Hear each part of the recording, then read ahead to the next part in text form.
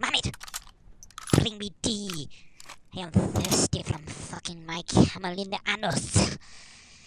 I'm starving also. Goddamn desert in this heat.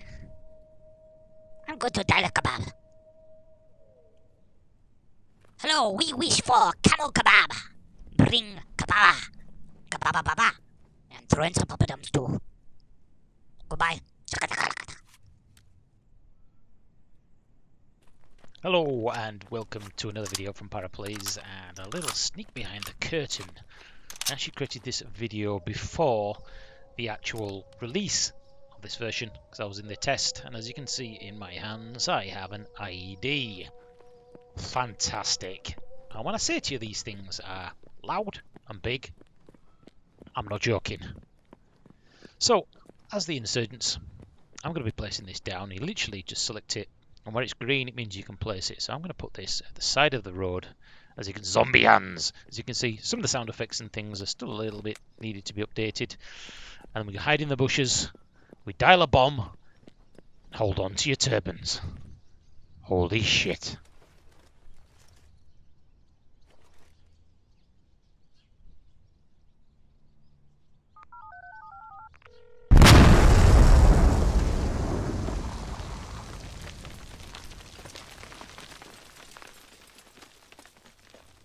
Now, what I can tell you is, if you're infantry, or even in a vehicle, and this thing goes off near you, you better make sure your headphones are not on loud, boy.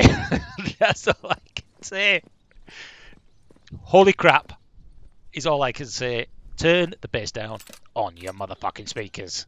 You are going to be deaf, and that's exactly how we love it. As you can see here, we also have some anti-tank mines put the fuse in the top and there you go. And just as a little test you cannot explode this with any sort of traditional weapon. I haven't actually tested this yet with an RPG like that but it really is going to be pressure on that top plate in order for a vehicle to drive over that. And as I'm actually in the actual test server on my own I can't actually show you any test footage of that. But believe me it's just as big if not slightly bigger than the boom. And it will take every vehicle out barring the Stryker, I think, uh, but it puts it a, a massive amount of damage, so it will actually take the vehicle out as well.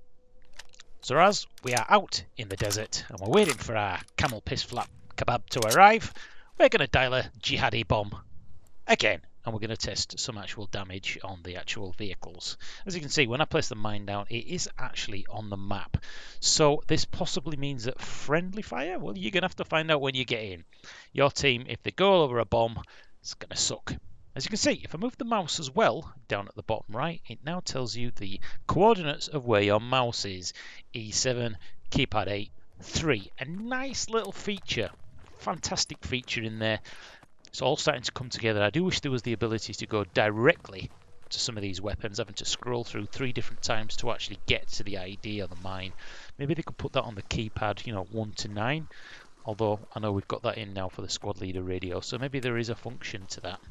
But let's go up here, blow these vehicles up and see if there's any actual splash damage.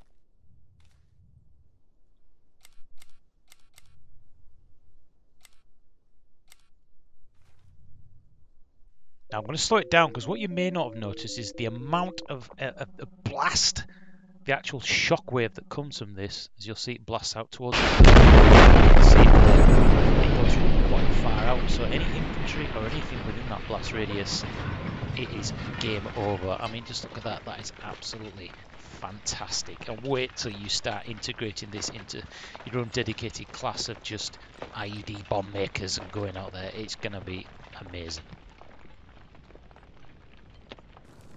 So let's come over here and just have a look at some of the damage. Oops, I always press the wrong key. I can't actually get this vehicle. But let's just come. As you can see, it's taken three vehicles out and almost destroyed this second one or this fourth one over to my left. So the blast radius on this is huge. Any vehicle that's in that blast radius or any groups of infantry as a close-knit squad, you're going to have to keep your distance. Now I wanted to put this little extra section in for the mortars because on the range the actual mortars they work perfectly. As you can see on the map here, we're going to try and put some mortars down into this compound down here, down near the apartments. And as you can see, if we move the map slightly, each square is 100 meters. You can see down there. 100 meters per square. So if we take our position here and we count them diagonally because they're 100 meters squared, I reckon that this is 1, 2, 3, 4, 5, probably about 500 plus hours, about 580, possibly over to this center part. Or even down at this section here would be 1, 2, 3, 4, 5, around 500 meters, although it seems a lot closer physically to me now than 500 meters. And what tends to happen is now, as I actually get onto the mortars, I'm just going to have another quick check of the map. As we get on and start launching the mortars, the rounds are hitting way, way, way into that compound further out. They're not actually landing where I would expect them to. So I'm just going to double check it again. 100. So we're given they're about 80 meters further up from there, it'd be 1, 2, 3, 4, 5. 1, 2, 3, 4, 5. About 580 by my reckoning.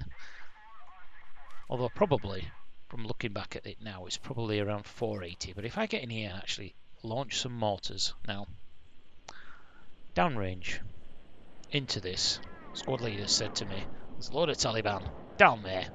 I want you to take them out. I want turbans to be flying around, destroy the bastards." So I'm going to set this based on the mils on this range, and we're going to launch three of them. And as you'll see, they're bloody miles away.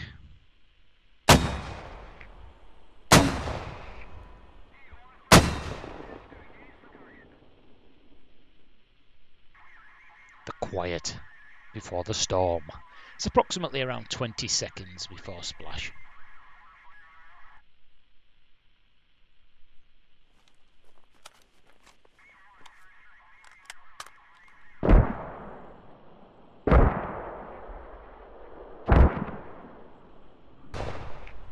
So that is something for you to bear in mind.